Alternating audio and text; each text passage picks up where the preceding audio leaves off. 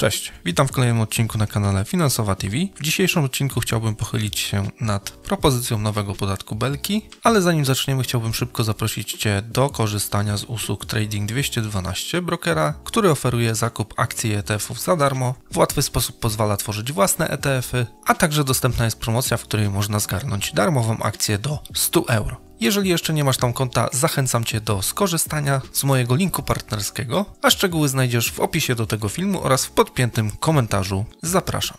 A zaczynając dzisiejszy krótki odcinek, najpierw przytoczmy sobie, czym w ogóle jest podatek Belki od zysków kapitałowych. W 2002 roku minister finansów Marek Belka w rządzie Leszka Millera uraczył nas nowym podatkiem. Potocznie do dnia dzisiejszego nazywa się go podatkiem Belki, właśnie ze względu na autora. Jest to rodzaj zryczałtowanego podatku dochodowego od osób fizycznych w wysokości 19%, który tak naprawdę dotyczy każdego z nas, jeżeli tylko posiadamy konto bankowe, a w jego ramach prowadzimy chociażby jakiś rachunek rozliczeniowo-oszczędnościowy. W skrócie, wszystkie formy typu konta oszczędnościowe, lokaty, pożyczki, akcje, dywidendy, obligacje i tak dalej, i tak. Wiele, wiele innych jest tutaj właśnie składowych, które w momencie przynoszenia nam zysku, co ważne, jest to podatek od zysków, generuje obowiązek uiszczenia właśnie podatku belki w wysokości 19%.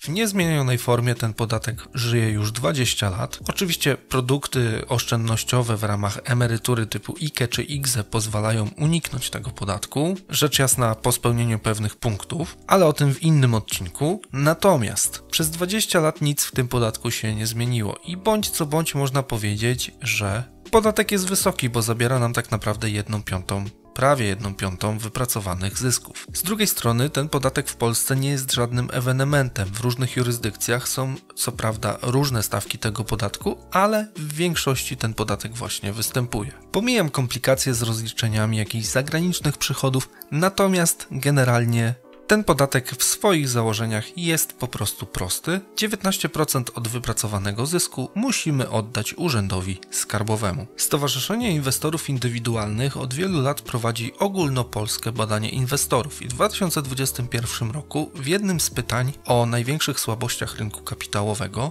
Ponad 44% respondentów odpowiedziało, że tą słabością jest podatek od zysków kapitałowych. Bardzo fajnie, że Ministerstwo Finansów bierze do siebie głosy ze strony inwestorów indywidualnych, tylko niestety, ale zakładam, że odpowiedź, którą widzimy w tym momencie na ekranie, czyli podatek od zysków kapitałowych jako największa słabość rynku kapitałowego w Polsce, to w mniemaniu inwestorów raczej likwidacja tego podatku, a nie podnoszenie go. Generalnie można przeczytać kilka informacji i wyciągnąć kilka wypowiedzi ze strony polityków rządzących bądź też członków Ministerstwa Finansów. Te informacje nawet propaguje sam PAP, ale już coraz śmielej nawet wiceminister finansów Artur Soboń mówi o tym, że prawdopodobnie jakaś zmiana podatku belki będzie. Po cichu mówi się, że będzie to kwota wolna od podatku do 10 tysięcy złotych, co w samej genezie brzmi dosyć dobrze. Zaraz pokażę to na liczbach. Druga sprawa brzmi trochę groźniej, ponieważ 19 pierwotnych procent podatku ma zmienić się na 20. Natomiast należy pamiętać, że jest to progresywny podatek i dopiero po przekroczeniu 10 tysięcy złotych jako podatek od zysków kapitałowych zaczniemy płacić ten podatek. Ta kwota do 10 tysięcy będzie zwolniona i dopiero powyżej tej kwoty będziemy płacić podatek w wysokości 20%. Ministerstwo Finansów podaje nawet, że do 90% inwestorów będzie mogło skorzystać właśnie z tej ulgi i na tej zmianie podatkowej, która de facto ma być neutralna podatkowo dla Skarbu Państwa. I to jest ta lepsza informacja, ponieważ niemal do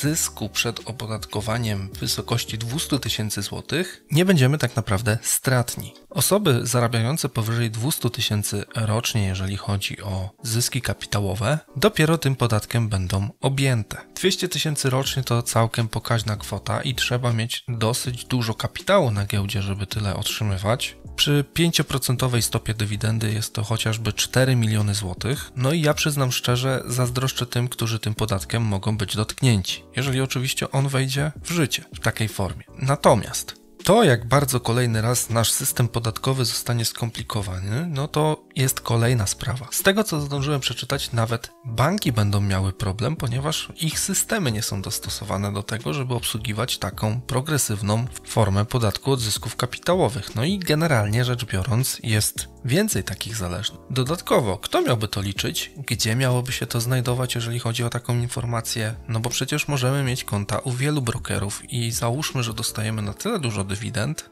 że w końcu tak naprawdę ten próg możemy przekroczyć w dwóch instytucjach. I mimo, że obie instytucje powinny zacząć pobierać ten podatek, to mogą o tym nawet nie wiedzieć. Jest cała taka machina i przeplatanka tych problemów, jeżeli chodzi o tą progresję, ale zawsze na końcu i tak to my będziemy mieli problem, jeżeli chodzi o rozliczenia. W momencie, kiedy zarabiamy gdzieś na granicy 10 tysięcy złotych, jeżeli chodzi o giełdę, to musimy pamiętać o naszych wszystkich lokatach, o naszych wszystkich kontach oszczędnościowych, nawet jeżeli ich na co dzień nie śledzimy, bo gdzieś te pieniądze na przykład trzymamy na czarną godzinę i nie dbamy o to, czy jest tam więcej, czy mniej, tylko trzymamy tam po prostu pieniądze nie to znowu takie kwoty będziemy musieli teraz śledzić i dodatkowo będzie to komplikowało nasze roczne rozliczenia w kwietniu. Sam pomysł i idea według mnie jest ok.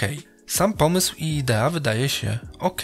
Dlaczego? Ano dlatego, że Generalnie do tej pory oddawaliśmy prawie 1 piątą w formie podatku tych zysków, a teraz do dość pokaźnej kwoty możemy tego podatku wręcz nie płacić. I taka forma zachęcania do oszczędzania, bo raczej chodzi tutaj o oszczędzanie, a nie inwestowanie, jest jak najbardziej ok. Taka forma też spowolni konsumpcjonizm, bo może będzie bardziej ten polski ciułacz skory do tego, żeby nie wydać tych pieniędzy, a jednak je oszczędzić, a to bezpośrednio też przełoży się na inflację. Oczywiście w pozytywnym tego słowa znaczeniu. Cały czas na ekranie możesz zobaczyć, jak wygląda ta tabelka, jeżeli chodzi o mniej więcej rozkład podatku po staremu i po nowemu. Dla różnych kwot tutaj wrzuciłem, tak żebyście mogli sobie przejrzeć. Wrzucę to też na bloga. Link będzie oczywiście w opisie. A skrótowo omawiając tabelkę, to oczywiście ten 34 wiersz, czyli kwota przed opodatkowaniem 200 tysięcy złotych, zysku oczywiście, to kwota, kiedy ten nowy progresywny podatek belki ma się kończyć opłacać i stary będzie po prostu bardziej preferencyjny. To jest dokładnie ten wiersz na żółto pokolorowany. W pierwszej kolumnie A możecie zobaczyć zysk przed opodatkowaniem, dla jakiego podjęto obliczenia. Kolumna B i C to kolejno zysk po opodatkowaniu i podatek, jeżeli chodzi o stary system obliczania podatku belki, a kolumna D i E to kolejno zysk po opodatkowaniu i podatek do uiszczenia, jeżeli chodzi o ten potencjalnie nowy progres. To, na co chciałem zwrócić uwagę, to rzeczywiste korzyści, które płyną dla nas do tak naprawdę 200 tysięcy zysku przed opodatkowaniem. I w sumie, jak tak przeciągnąłem te wszystkie tabelki w dół, to dla zysku przed opodatkowaniem rzędu 5000 zł naprawdę się zdziwiłem. Bo przecież zarobić 5 milionów to naprawdę absurdalna już wręcz kwota. To są kwoty, które zarabia Buffett czy inni bardzo majętni inwestorzy albo fundusze inwestycyjne, a nie zwykły Kowalski. Ale do momentu, kiedy nie przelałem tych liczb na Excela, to myślałem, że ci bogatsi zapłacą jakiś duży podatek, dużą różnicę w podatku. No i wydawać by się mogło, że te 48 tysięcy złotych dla 5 milionów zysku to jest jakaś horrendalnie duża kwota, ale przy 5 milionach zysku jest to rzeczywiście ta różnica raptem niecałego 1%. I jest to wręcz oczywiste, jak się o tym mówi, ale dopiero obrazuje mi to Excel, że te kwoty nie są jakieś takie super wyśrubowane, więc raczej dla tych dużych graczy jest to po prostu coś do przełknięcia. Daj znać, jaka jest Twoje odczucie odnośnie tego nowego podatku, który prawdopodobnie do nas zagości i będziemy nim zaszczyceni. Nie zapomnij zostawić łapki w górę, subskrypcji i komentarza pod filmem. A także jeżeli jeszcze nie masz konta w Trading 212, to zachęcam Cię do założenia go tam i skorzystania z promocji, gdzie możesz zgarnąć akcję do 100 euro zupełnie za darmo. A tymczasem dzięki serdeczne za dzisiejszy odcinek. Do usłyszenia już w następnym. Cześć!